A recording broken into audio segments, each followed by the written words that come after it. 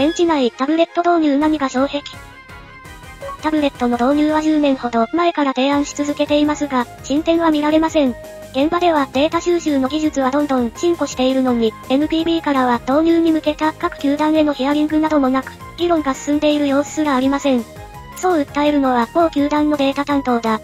去る16日、12球団監督会議でソフトバンクの国母弘樹監督が、ベンチ内へのタブレット端末持ち込みを提案したことに関してだ。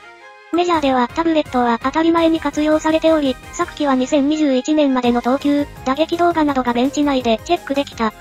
スタッドキャストというデータ収集システムが MLB 全30球団に導入されており、システムの運営も MLB が行っている。試合だけでなく、育成や審判技術の向上にも活用されており、ファンもデータを見ることができる。しかし、日本では一向にタブレット導入の動きが見られない。日本では球団ごとにデータの収集機器が異なる。巨人、阪神などは、トラックマン、ヤクルトは、ホークアイを採用している。タブレット導入には使用データを統一し、公平性を担保する必要があるという声に加えて、タブレットがサイン、盗みなどの伝達行為に悪用される懸念もある。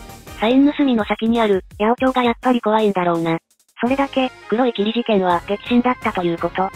まあ過去には、ホークスというサイン盗みの球団がありましたからな。ホークスの親会社がタブレットを売って荒稼ぎしてる会社だし、当分は無理だな。ほんと変化を嫌う年寄りの集まりだこと。どうしたら使えるようになるのか考えんのかい。大英時代にサイン盗みの前科ありましたね。導入に熱心な某球団は。すいません、脱税とサイン盗みを思い出しました。ハイテク機器でサイン盗みをしてた MLB を見習えと言われてもな。